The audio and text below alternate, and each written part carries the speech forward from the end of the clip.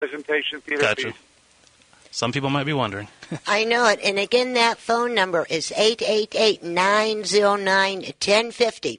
Uh, call in if you'd like some free tickets. You heard Bud Forrest, the creator and the producer, talking about this fantastic, fantastic, I, I, I'm going to tell you. You're having problems today, right? Yeah, it's, it's just one of those days.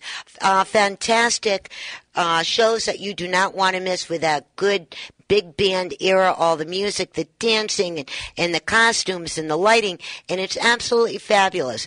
So if you would like to see what Bud Forrest does and all of his crew, uh, call in again at 888-909-1050. Okay, Bud. Well, thank you so much for your time. We will see you on February 6th, right here at the California Theater of Performing Arts. And you be safe, and thank you so much for your time. Well, thank you, Bev, and you take care, and hopefully you uh, both of you can come and see the show. And I'd like to say hello and thank you in person. I Thanks definitely- so much for your support. You're welcome, and I will definitely be there. Okay, well, you take care. Okay, thank you. Bye bye now. Bye. Now that's cool, isn't it? That sounds like that's going to be an amazing show. That would be cool. Yes. And everybody loves that type of Well, music. how, how can you, know? not enjoy big band music? I mean, that's classic American history. Mhm. That that's just that is cool music. And, and it never goes out of style. Oh, isn't that the truth? Y- You know, and when you look at it now, even our young children, with all the genres that they listen to, you're seeing now more and more of the young people are going back to this. Well, and how how much of our current music comes from big band or swing or the the flappers? We, we you know they modern artists have taken that and used it for modern music now. Mm-hmm. It's just it's just such a good Feeling. music. I don't yeah, Yeah. yeah, good feeling music. And like you said, it sounds like it'd be an amazing show even to show your kids. Yes, and it gets your feet and happy, and your whole body gets There happy, go. and you know, and if we can make I think you're going to be dancing in the aisles when you go there, aren't you? yes, and if we can make this whole world happy with this performance, There you then go. there you go, right? And again, thank you to Bud Forrest Bev doesn't need a dance for floor. for um, you know his wonders, his ideas, how he got this all together, being the creator and the producer. And again, one more time, the phone line is 888-909-1050. If you all want to come and see this fantastic performance, call us, talk to Joe, he'll get all your info, bada bing, bada boom, you get tickets to go.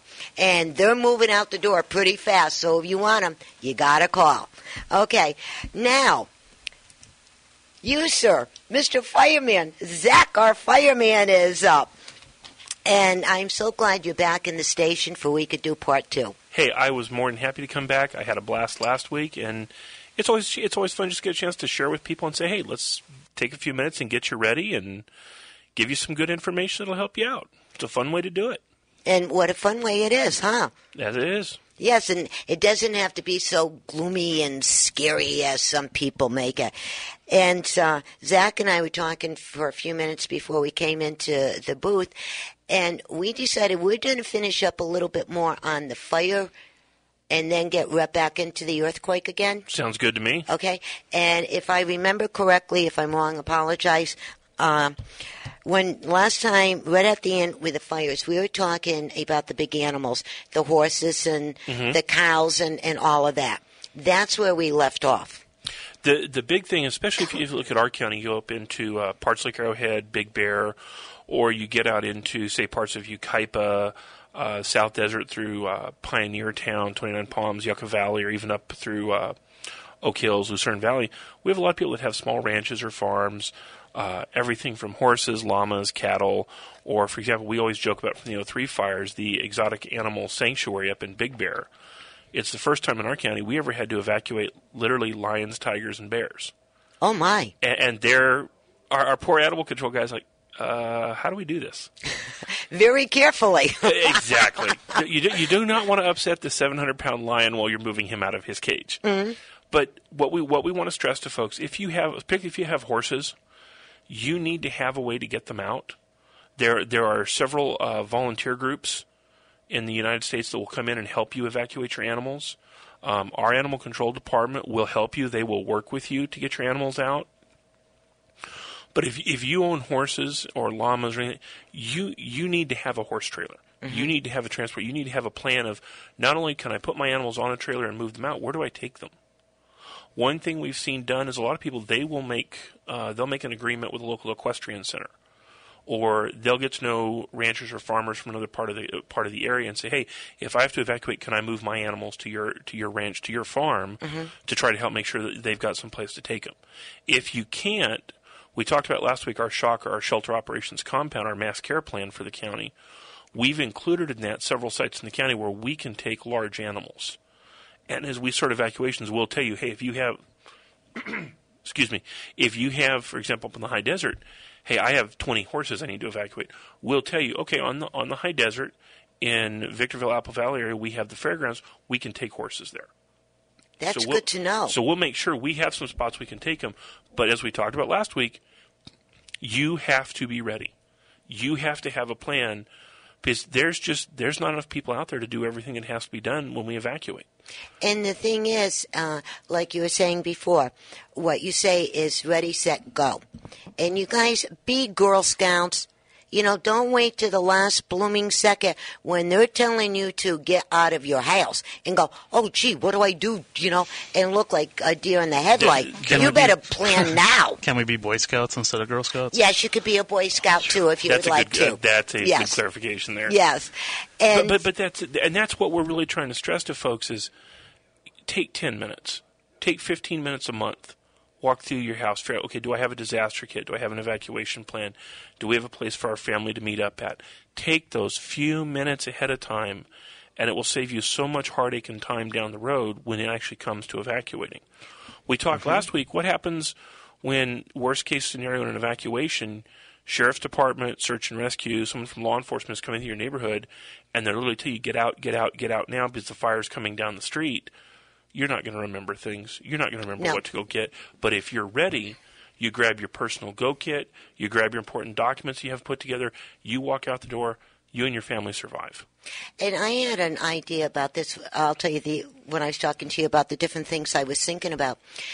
What everybody should do, thinking about it, because right now the water supply is down to nothing, and they keep on telling us. You know, don't use water, this, that, and, and what have you. So don't think that you can be one of them guys with your garden hose spraying down your house thinking you're going to save your house. Forget about it, right? And then, as you say, people panic. All of us do. It's It's just, a- it's a- it- it's a just natural reaction. right? All right. So what about this? Like in the back of my car, I have a kit, right? If you all would listen to Zak, he is from the San Bernardino County Fire Department. This man knows what he's talking about, right? If you get all your bags ready now, put them in your vehicle now. And maybe, like you said, every certain days or something, go through the bag. And like the extra food that you are gonna bring, make sure nothing is uh, gonna rot. Like you can't bring salami and uh, uh, you know mozzarella for for a, a sub or something. You know, things that are in your cans, your bag food, your water, everything that one needs for what three days, right? We used to teach three days for a fire. Three days works, but as as you and I talk, we're going to talk about earthquakes in a few minutes too. If it's for a fire, three days is a really good kit for you in your car. If it's an earthquake, you need to really look at seven to ten days. Seven to You, ten. you really need to Okay. expand it out to that, that at least that minimum of a week. Mm-hmm. But but for a fire, if you're evacuating, realistically, if you take three days with you, you'll be just fine. And if you do it now, like Zak was saying, go through your home now. You know, and don't wait till that last second because you ain't gonna have time, honey bunny. I'll tell you, when they say out, you better get out. Forget about it, right? And so, and let the children get involved on their little kit because it's going to be for them and they know what's in there. They're like the, their blankie, their teddy bear, uh, the storybook, whatever it is, that they're going to feel comfortable and they're going to know that And- it's already there. And if you get the kids involved now, they'll take it seriously. You know, take take a few minutes on a Sunday afternoon and say, okay, let's let's all sit down, put our kit together, tell the kids what's important. What you know, as you said, the blanket, the, the favorite stuffed toy. What, let's face it, now with technology, the favorite iPad, whatever it may be. Get them involved, kind of make a little bit of a game out of it, have some fun with it. They take it now as little kids, and they, they you continue to reinforce that to them, they'll do that for the rest of their life. Mm-hmm. They have a family and they have kids, they'll be prepared as well. Hey, Bev. Yes, Rich is informing me your kit might not be up to par. It's not. I got to redo it. I told Zak last week. He, he's Hey, over here putting, you know, No, bad no, the kid. over here. no, the the kid is in there, and yeah, and and last week when I was talking to Zak, I even said it on the program. I got to redo my cap, but I'll tell you one thing, boys and girls, it's not going to be this Sunday because of the Super Bowl. It will be on Monday. Monday, that kit is going to be pulled out and redone. Yes. Well, here, here's the thing: if you're having a Super Bowl party and the disaster hits, at least you got all the food and the drinks from the Super Bowl party. just take it and run. Take it, and take it, and run. Yes. take it and run. we have And- we have Mia Miyamoto on the phone too. Okay. Hi, Mia. Hello. Hi, how you doing? We're doing good. How are you, sweetie? I'm doing great. Getting ready for Super Bowl. You too, huh? Oh yeah. Yeah, and unfortunately, uh, I know you know you you're always out and about on Fridays in all different locations. One of these days we're going to switch, and, and you're going to be in here, and I'm going to be out there. You know that'd be a crack up, wouldn't it? And That you, would. yeah, you missed uh, talking to Bud Forrest. Uh, he's the creator and producer of In the Mood. That's going to be Oh. on the California Theater Performing Arts on February 6th. Nice. Yeah, uh, so I will talk to you about that later, okay? Okay, yeah. And then right now we're talking to Zak, and we are re going back on part one of the fires and getting our kits ready now. Nice. Okay, so you're all brought up to date. I am. Hi, Zak. Can you hear Hey, how you doing? I'm doing good. Keep going. Inform me. Well, um, Bev and I, Bev, you and I talked to a few minutes ago. We had talked about can your kit work for both fire and earthquake? Mm-hmm. Yes, it can. Particularly your vehicle kit. You know, you put it together. P- Some people get stuck on that. Well, it's my fire kit. No, that's your survival kit. Bingo. You can use it for any disaster. Now, now one thing you talk, we want to talk about, about earthquakes. The, the one difference between fire and earthquake is everything you do prepared for fire is to be able to get out. Mm-hmm. You know, we, we talked about last week. You've got the garden hose on the roof. Get, leave. You can rebuild the home. You you can buy more stuff.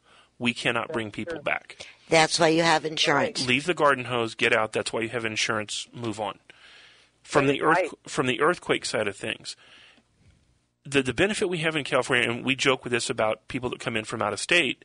They tell us, "Oh, I, I wouldn't want to be in an earthquake. I wouldn't want to be in an earthquake. I'll take a tornado." and, and my response to them is, "No, no. You need to understand. In an earthquake, your house falls down and stays on your property. In a tornado, your house is three counties away, and you're chasing your shed two other counties down the road. Right, it's oh, you remember that movie, The Wizard of Oz, and the That's house it. goes. That's it. Twister. Yes. The movie Twister. Yep, that's that's what it was. And I went through one of those. Oh, Never. did that? Oh yeah, it was real freaky. That's when I was down south, down in Savannah, and one uh-huh. hit down there. You know, yeah, and I won't tell you how, how many years ago it was because then I'll really tell my age. But I'll tell you that is one thing I wouldn't even wish on my wish on my worst enemy. You wanted to? Oh yeah. I mean, and I was looking around waiting to see that witch come after me. You know. and, and, and the and the benefit is, you know, like you said with with tornado, everything goes. We wouldn't want to do that. How do you supply for a tornado? Unless you're building underground, all your supplies go away too. yep. The That's benefit we have in California is even if your house falls over there, your supplies are still there on your property. Mm-hmm. So, so think about when you're putting your earthquake kit, kit together, seven to ten days, food, water, and the other benefit is if you if you're able to stay there at your house or stay on your property, you know, hey, camp in the front yard, camp in the backyard with a tent if you have to. You have a lot of supplies right in your house. You have mattresses, you have sheets, you have blankets, you have your clothing, you have your cleaning supplies, you have whatever food and water you have in the house. You have all that right there at your fingertips. You have tools if you need it out of your garage. You have everything without having to go find it. You so, know, Zak, can I say something, oh, Zak? go ahead, by all means. As you're as you're mentioning these things, I'm thinking about my neighbors because I could be prepared. They're not, and they're coming over trying to take what we got. So I think maybe it's a good idea to make sure everybody in your neighborhood has their supplies too. and and that that's what we really that's really what we want to see people do is get together as a neighborhood get